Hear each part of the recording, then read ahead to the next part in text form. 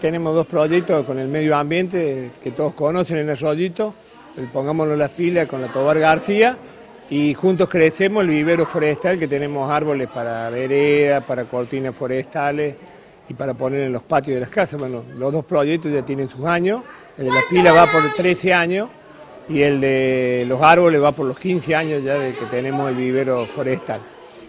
¿Qué balance le merecen estos proyectos? ¿Cómo fue este ciclo 2016? Bueno, el proyecto de las pilas eh, siempre nos trae satisfacciones, eh, la gente lo ve muy bien porque cuidamos el medio ambiente, hacemos un recorrido por los distintos comercios de la ciudad, las instituciones que colaboran y, juntan las pilas, se prestan para que poder depositar las pilas y nosotros las pasamos a recolectar.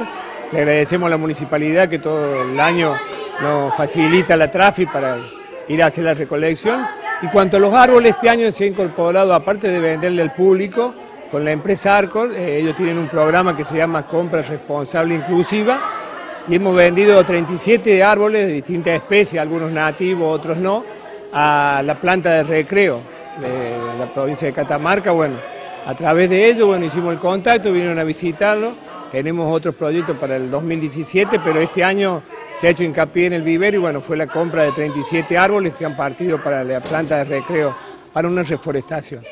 Proyectos que eh, evidentemente estos superan claramente los parámetros de lo que es solo la teoría, se puede ver en la práctica. Exactamente, eh, ahí hacemos mucho hincapié en la práctica, que la socialización de ellos, la inclusión, que nosotros decimos que siempre es posible la inclusión para todos y bueno, lo hemos logrado este año y cada año vamos progresando, tanto con el vivero como el proyecto de las pilas, como así cada proyecto que, tenemos eh, apuntamos a la inclusión y creo que lo hemos logrado en este 2016 y bueno, y preparándonos para el 2017.